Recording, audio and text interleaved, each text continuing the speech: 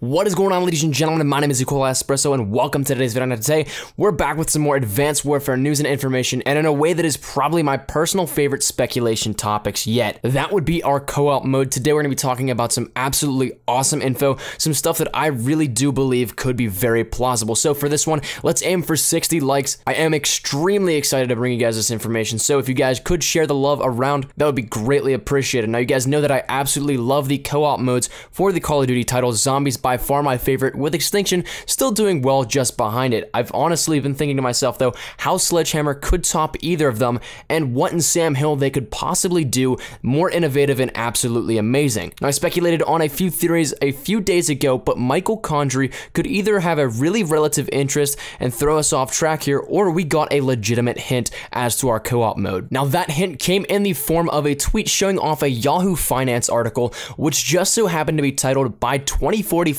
the top species will no longer be humans, and that could be a problem. So, my first initial thought, which then carried over into my overall thoughts after reading this, is that we're going to see some sort of cyborg co op mode. The article goes on to detail the fact that people will integrate machines into their bodies, as the idea of immortality will be very alluring, which isn't a lie by any means. It also states that if there are no limits as to the amount of intelligence that machines can have, that they will become conscious entities. And since science, technology, and knowledge expand like wildfire, this prediction of time is perhaps incredibly accurate. Our machines can get smarter, more intelligent with every innovation, and in a sense, in the real world, we are creating another species. It's not even science fiction anymore. There is a real study done that showed that robots lied to each other in order to gain an upper hand in their well-being when prompted to sort things out as a group and to help the group out as a whole. All these links will be down in the description below, of course, if you guys are interested in any of it, which I highly suggest you check it out. It's all some great reading. Now, all of this is theory, none of which is clearly factual or presentable, yet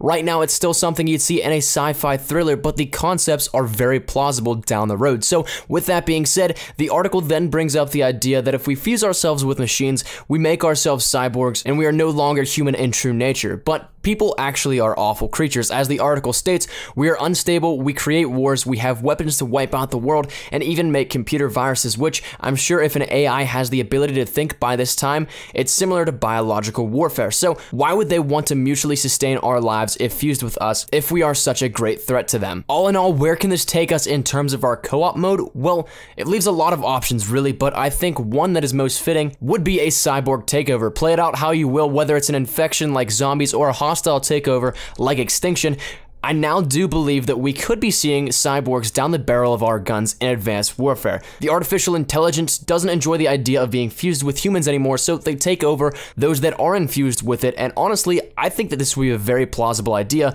It would be like a horde mode like zombies most likely, and to me it just seems very plausible. What gets me even still is the fact that advanced warfare is all about ripping the game from the headlines and the future possibilities. Well, there's your headline, it's right down in the description below.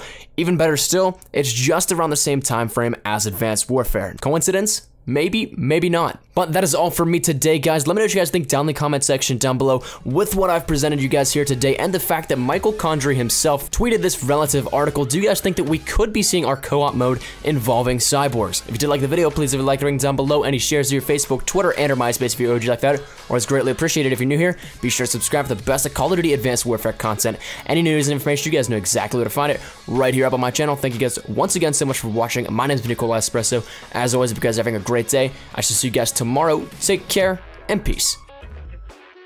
Surprise,